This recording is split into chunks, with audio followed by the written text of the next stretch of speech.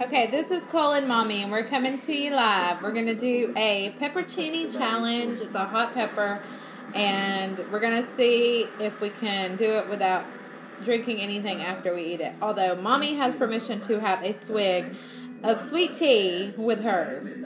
So, who wants to go first, Cole? You. Okay, I go first.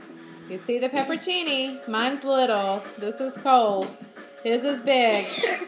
He's gonna really need something to drink, but he doesn't think he does. All right, here we go. Where's your tea? Right there. This One, one. one, two, three. The Dunkin' of Brooklyn and the Mafia Fat Brooklyn. He's like all my old dead friends rolled into one big live friend. Is it spicy? Mm-hmm. Absolutely. I, I shouldn't have got a bigger one. Hold your bowl under the thing. All right, are you ready? Here goes Cole. Something you didn't understand. Uh, Alright. that might be some Don't be scared. Where's it go? I ate the whole thing, and you ate a little bitty bite. Think about it, Colonel Hill. Our policy here is if you decide you don't want to live life to the fullest, you've got 12 hours to back out. In the meantime, why don't you enjoy a bite at one of our world He's trying. He's being tough. For 10% off. You boy? What do you get with your Temporary? I'm giving it a second. I'm not feeling anything yet. Each another bite. Hurry.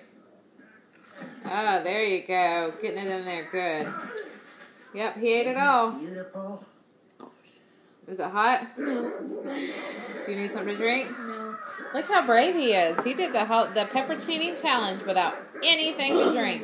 He did amazing. Now it's time for us to go eat our brownies with ice cream. Shut up.